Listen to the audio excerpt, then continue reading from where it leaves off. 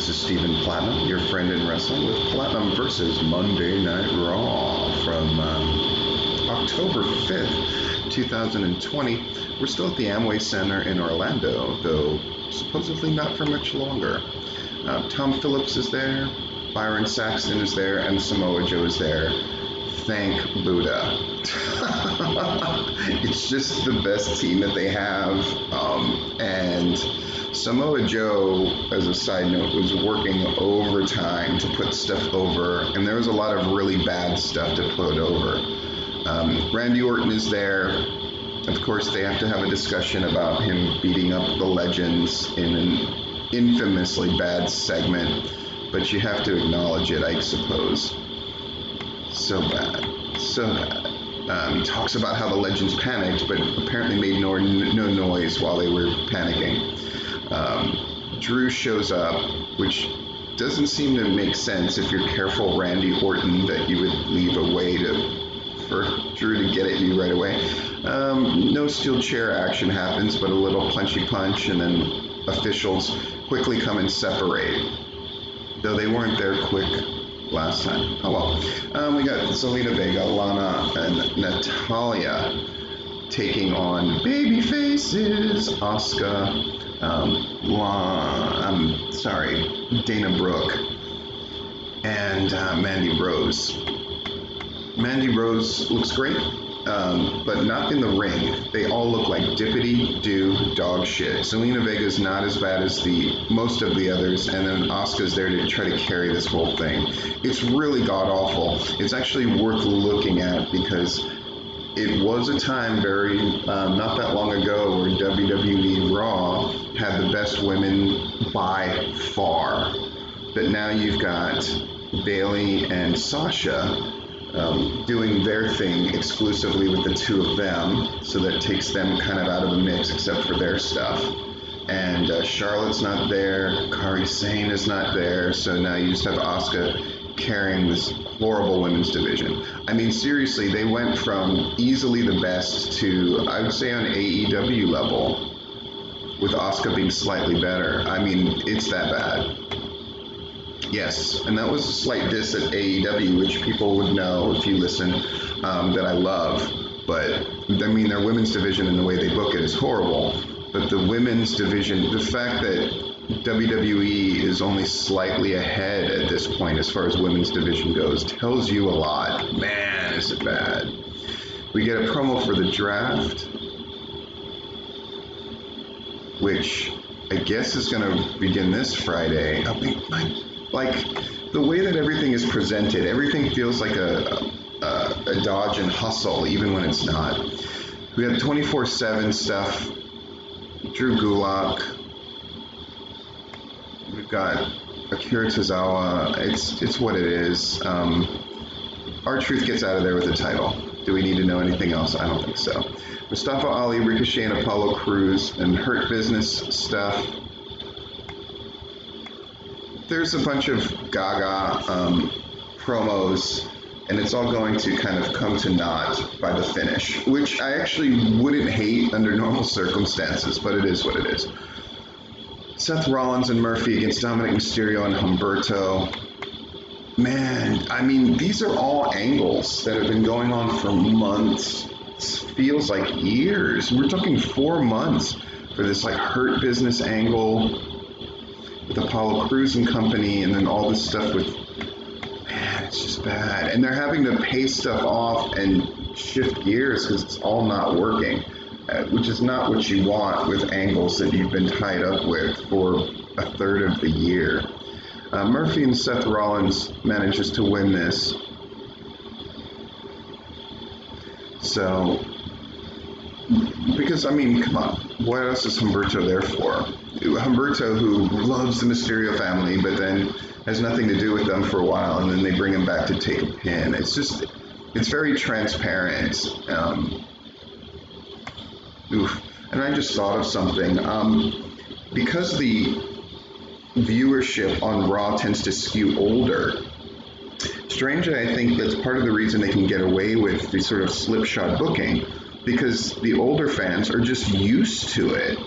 Whereas younger fans that would tune in would just go, I don't really know what's going on. And it, I, the word I would use for WWE Raw right now is uninspired, even when they're trying to do things. I mean, we don't have Raw Underground, right? Which we find out again. Adam Pearce is there, and Strowman, I want a match.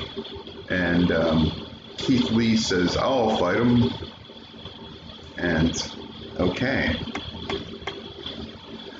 Uh, part of this is it's a babyface problem. In my uh, full disclosure, I talk about how Jon Moxley is the natural choice for number one because uh, who else are you going to put there? If you're going to, what what champion can you put up from the WWE that would be worthy? And there there isn't one. I mean, the fact that Adam Cole is three and he's won it before, and he's just on NXT tells you how slipshod the booking is. The WWE's idea of a babyface are the biggest, toughest guys on their roster who they have to end up looking like fools because that's how faces get booked is they just they're tricked and they're stupid. Even though they're bigger and stronger and conceivably just as smart they continually get upended by heels. That's the only way that they know how to book some semblance of heat nowadays on WWE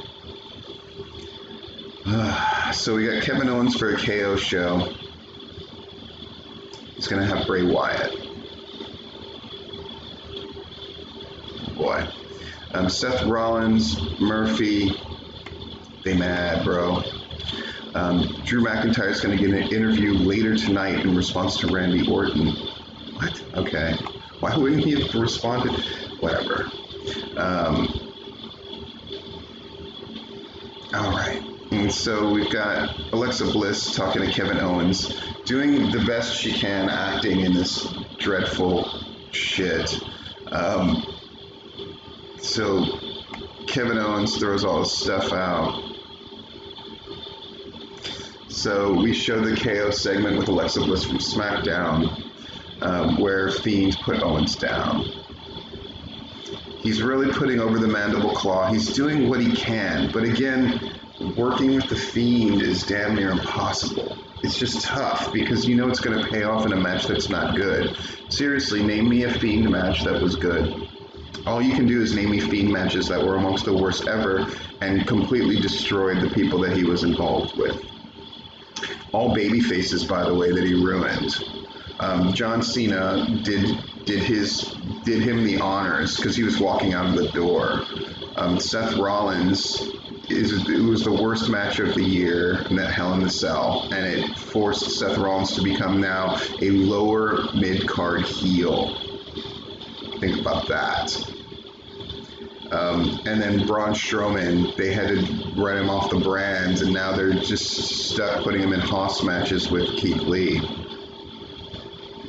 Yeah. So um, we got Firefly Funhouse stuff. I gotta say this about Firefly Funhouse, and it drives me fucking nuts. The puppetry is shit. You seriously can't get somebody to lip sync properly and if you don't know what that means, then um, guess what? Neither do the people who are doing the puppets. It's awful. You can't stick somebody down there to do like decent puppetry where they open the mouth when they're supposed to match the verbals. God, it's embarrassing. Just a tribute or an homage is a thing done well, which is something that WWE does not understand. It's why their comedy vignettes don't come across well because they're not funny. And the Firefly Funhouse, which is this great concept, if they would do the puppets well, then it would make everything that much better.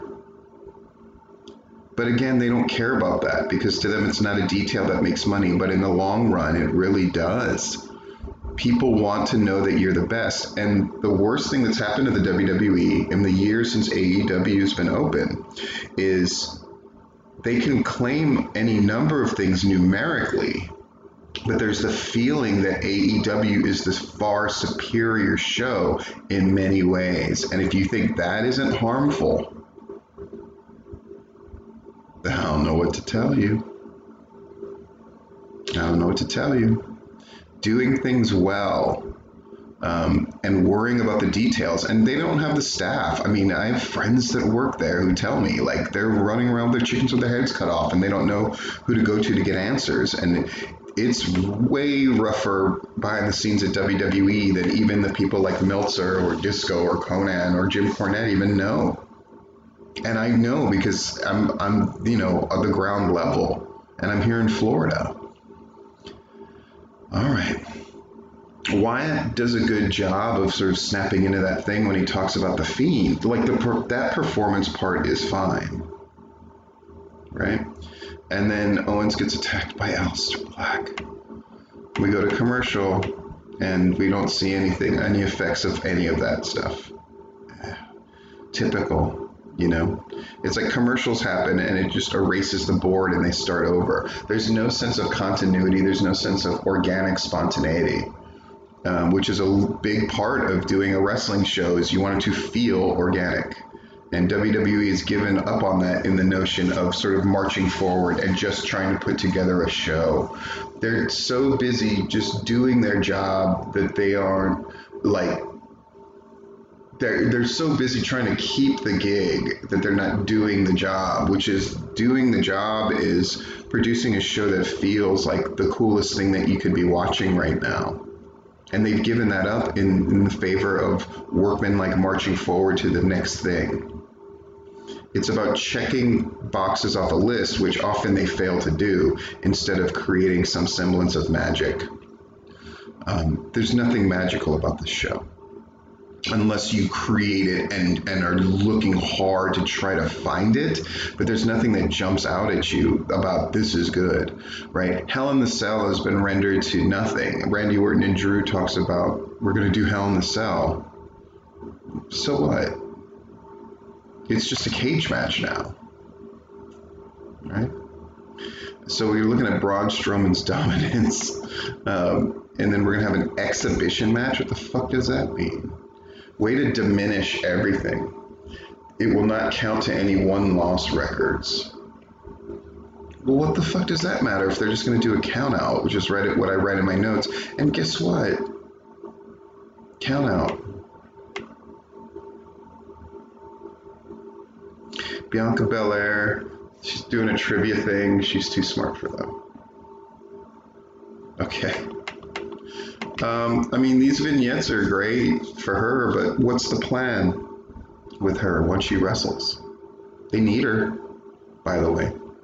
Um, Drew Gulak, Dumpster Stuff, Truth has the title. Great. Um, Hurt Business. We're going to be back with them. They talk about retribution Yay, tipping the hand. Ricochet, Mustafa Ali, and Apollo Crews come. They're all fighting, fighting, doing their thing. Lashley um, gets Crews, oh my god, to tap out again. So they win. And um, the Hurt Business stand tall. And um, Ricochet barks, telling the Hurt Business that they're going to keep fighting, which sounds like the most horrible promise ever if you're a fan. Murphy sees Aalyah Mysterio. Their drama continues. Murphy's got 12 minutes to apologize. Okay. I do like that they do ticking clock stuff it does give a sense of urgency to the show, gives us a reason to tune in later. But again, they don't have the infrastructure of a good show to support that idea. It's a, it's a good idea that's not supported by a show that can accentuate what they're trying to do, if that makes sense. And again, I know it sounds like I just bag on Raw, but it's a bad show. Um, I mean, it's so bad that I'm thinking like, is SmackDown now the Cornerstone show, and do I need to watch that instead of Raw? There's no way I can do both. There's just no way. Um, it feels like I'm doing this for posterity, but I like that Raw is so bad because there's so many teachable moments in it. And I hope you're listening to this because you get that out of it as well. Um, we get another promo for the draft. It's on SmackDown and next Monday's Raw. Okay. Shelton, Benjamin, all kinds of stuff. They're yelling. Um, okay. Rollins addresses Murphy and says he waits his apology. Murphy um, uh, they keep harping on this you gotta apologize thing. I'm yelling at you, apologize. Then they brawl, they brawl. Um, Rollins is going for his eyes. Rollins gets the kendo stick. And again, you know, it's just in this world, there's just kendo sticks underneath the ring. Okay. Um, Rollins um, grabs the chair. Aalyah tells him to stop. The Mysterios come out. Again, is Seth Rollins so. They're not afraid of Seth Rollins to the point where the wife comes out, the daughter's out there. Like, there's no sense of danger in any of this. Maybe Retribution will attack. No, we know it's not. Nothing on Raw feels connected or dangerous or spontaneous or organic. And it's proved by what they let happen right? If I if I work for WWE, am I bringing my kids around um, with Retribution running around destroying stuff and Seth Rollins, who's you know in the past pulled an eyeball out and but and shown that he has no compunction about doing the worst stuff ever. But they're not afraid. They're not. They don't act afraid. They're not booked to be afraid of anything for the sake of a soap opera angle. And I have no problem with the soap opera angle part. I just want it to make sense because it will. That's the thing. Good writing and filling in details and doing stuff like making sure the puppeteering is good in Firefly Funhouse. All of these things compound. It's it's creating momentum. And right now, Raw they're having to fight against themselves and dig themselves out of holes constantly instead of really taking you to a place where you can suspend disbelief and you stop and you get past the intellectual defenses that a person will naturally have when you're watching a bad show. They, it's in con in, in the con world where people are conning each other. They call it putting you under the ether, meaning putting you in a state where you're thinking emotionally instead of rationally. That's how they get your money, con men, and they get you to do what they want.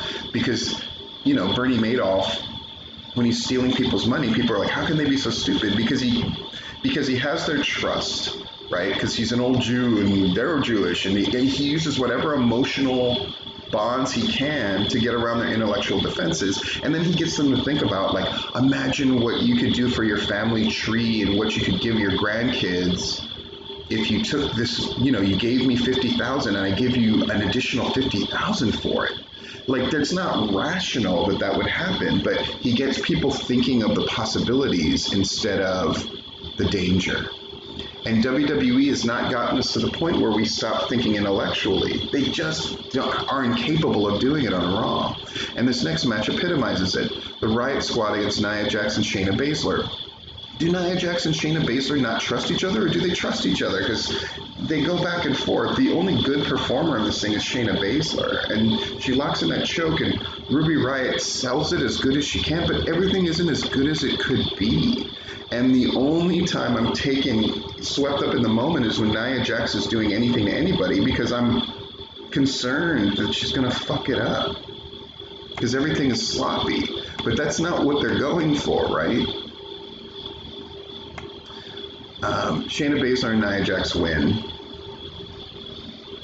Baszler refuses to let go of the hold but live. She's upset. Shayna Baszler and Nia Jax are dominant. Street Profit. You're gonna be on a team with Drew McIntyre. MVP versus Mustafa Ali. Retribution attacks the Hurt Business. Mustafa Ali is the leader of Retribution.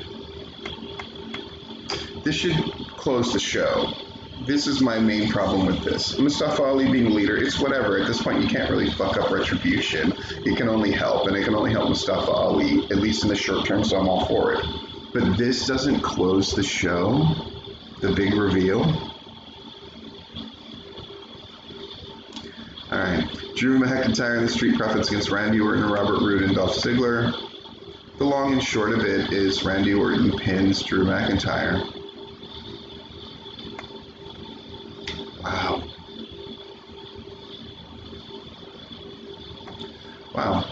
And that is Platinum versus Raw. A lot of lessons chocked full in this one.